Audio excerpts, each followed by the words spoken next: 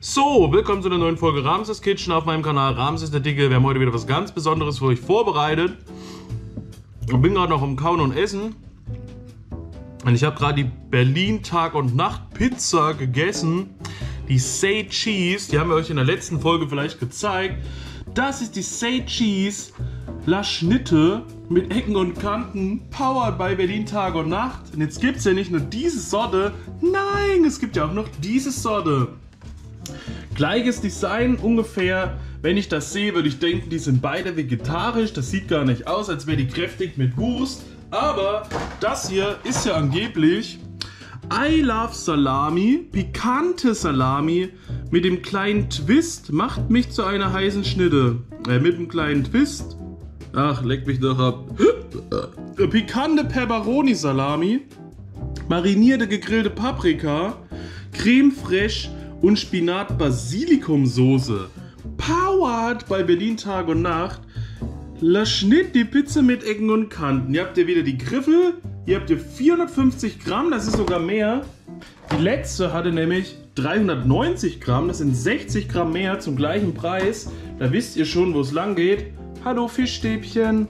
Und hinten drauf aber natürlich wieder alles hier. Hashtag heiße Schnitte, Hashtag Eat Me, Hashtag Share Me, Hashtag It's Salatbrett, äh, it's, it's, it's, it's a Flatbrett meine ich. Die Schnitte zum Teilen.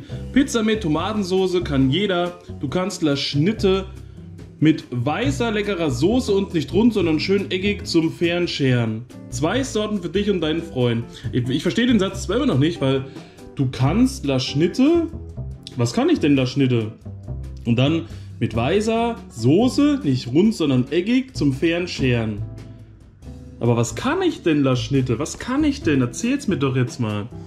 Pizza mit Creme Fraiche Sauce 22, Spinat Basilikum Sauce 8,5 marinierter gegrillter Paprika, scharfer Peperoni Salami mit Jalapenos, schnittfest Mozzarella und Hartkäse. Wie man die macht, haben wir schon vorgelesen. Wieder also nicht rund, sondern eckig.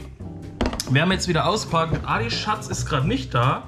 Das ist nämlich jetzt hier die zweite Runde. Nach der ersten, so nach der Say Cheese, war ich nämlich nicht satt. Jetzt packen wir die hier aus. Guckt euch die an. Die sieht doch auf jeden Fall richtig heftig aus. Viel interessanter. Diese fette, brutale und die wirklich fett. Du siehst die Fettaugen da durch. Jetzt müssen wir die Folie hier mal abmachen. Basilikumsoße, okay, ihr seht lauter grüne Flecken auf der Pizza. Also die sollte wohl an sich schon sowieso ein bisschen scharf sein. Trotzdem habe ich meine Tabasco-Soße wieder am Start, um mir ein bisschen nachzuwürzen, weil ich Schärfe vermisse. So, einmal raus hier aus dem Zelt, einmal hingelegt. Bitteschön. Sieht das jetzt nicht herrlich aus? Guck mal, wie feuerrot hier dieses grüne Basilikum gedöns. Da habt ihr hier die Paprikastückchen drauf. Ihr habt die Salami-Stückchen. Die geht jetzt ab in den Ofen. Da bin ich mal gespannt, was die kann. Die Käse war gut, aber würde ich trotzdem nicht nochmal kaufen, weil insgesamt war mir das zu wenig und zu unauffällig. Viel zu gesund. Ich hoffe, die überzeugt mich jetzt richtig. So, die packen wir jetzt auch wieder hier auf die mittlere Schiene. So sieht die also aus vorher. So, und so sieht sie dann aus, wenn sie fertig ist. Beziehungsweise war die jetzt leider irgendwie länger drin als die andere.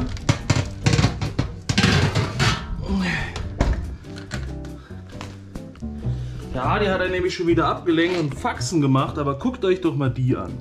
Die sieht doch auf jeden Fall richtig brutal aus. Vielleicht hätte ich die andere auch einfach noch ein bisschen länger drin lassen müssen. Die wirkt saftig, die wirkt rot, die wirkt feurig.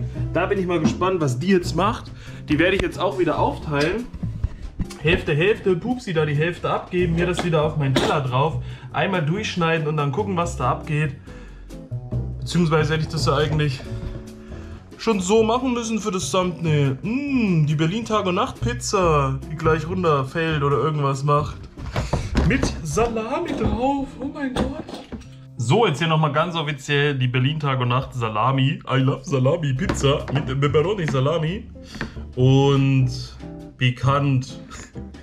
In dieser Salami, in dieser Pepperoni Salami sind nämlich angeblich Jalapenos. So, was aber wichtig ist, Oh mein Gott. Ja, die ist auf jeden Fall länger drin gewesen. Die ist nämlich genauso dünn, aber mega knusprig, sodass man die kaum durchkriegt. Pupsi findet es gut, dass der Boden so dünn ist. Ich bin geteilter Meinung, weil da werde ich nicht satt. Ne? Am besten, man isst einfach nur 10 Tonnen Hefe so und sagt dann, gut, passt. Oder einen Sack Mehl einfach. Adi, probieren, ich.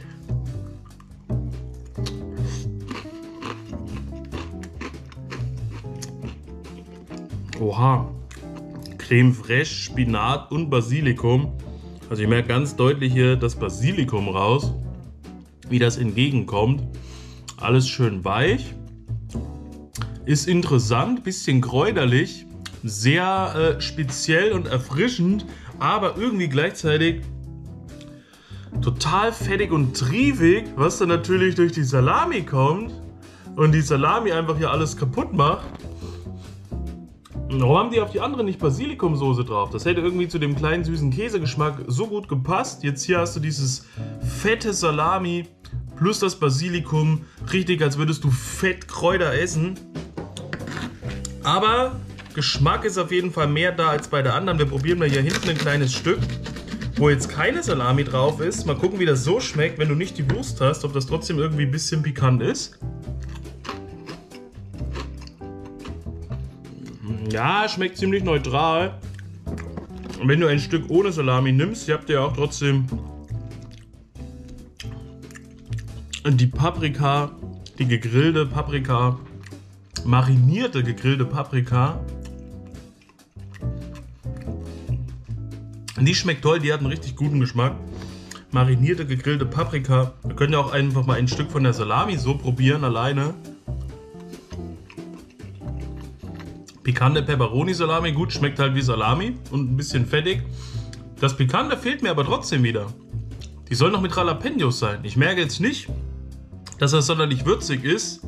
Das ist halt einfach nur ein bisschen wuchtiger als die Käsepizza und halt dadurch irgendwie auch dann fettig durch die Salamis. Aber im Allgemeinen geht da noch was. Da hätte ruhig ein bisschen Schärfe drauf sein können noch.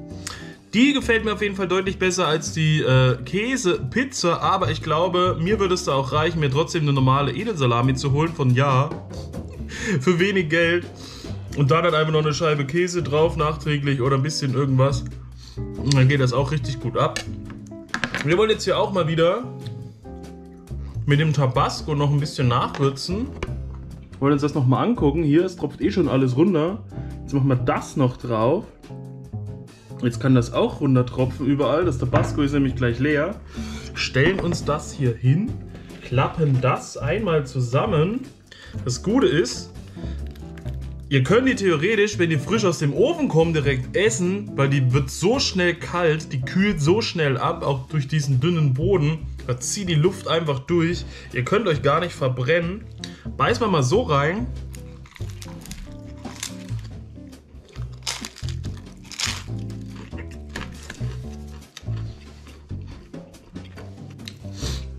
Und jetzt, wo du diese so doppelt nimmst und reinbeißt, dann hat das fast so einen Geschmack, wie wenn du von einem anderen Stück Pizza ganz normal reinbeißt.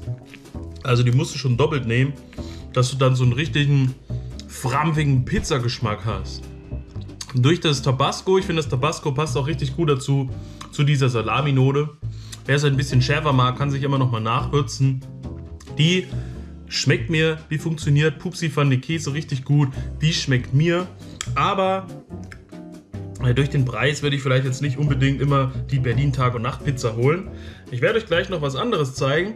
Ansonsten war es das jetzt von meiner Seite aus. Wir sehen uns beim nächsten Mal. Habt ihr die auch schon mal gesehen? Habt ihr die auch schon mal getestet? Habt ihr die schon mal probiert? Gibt es erst seit dieser Woche Donnerstag, glaube ich, neu beim Kaufland. Also geht mal dahin, checkt mal aus, ob ihr die findet, wenn ihr Interesse dran habt. Und was wäre euer Favorit? Und was für Sorten könnten die noch raushauen? Wie findet ihr das Design von der Verpackung? Wie gesagt, ich finde das Design doof. Mich spricht das nicht an. Ich brauche da was, wo wirklich man... Ja, wo man halt die Pizza sieht und wo das schön einladend ist und nicht einfach hier irgendein so bunter Comic-Karton mit irgendwas Schickimicki drauf. War es das von meiner Seite aus. Peace out, Vorhaut, euer Ramses.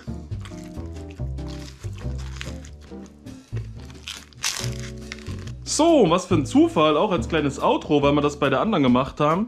Als es um die Käsepizza ging und ich gesagt habe, hier an der Hall of Fame hängen die vier Käse für ein Halleluja-Pizza von Gustavo Gusto, habe ich auch ein Gegenstück zur Salami-Pizza, weil diese pikante Salami meiner Meinung nach gar nicht wirklich so pikant war und auch jetzt nicht so extrem besonders und anders. Und für diesen Preis würde ich eher zum Beispiel eine Capital Bra Pizza empfehlen. Eine Gangsterella Team Gabirinta Salami. Auch wenn ich kein äh, Capital Bra Fan bin, habe ich trotzdem mir mal die vier Pizzen damals hier reingezogen, wo ich auch das Design mega feier. Das erinnert halt so an den normalen Dönermann. Ne? Das ist auch ein bisschen schlicht, ist hin und her.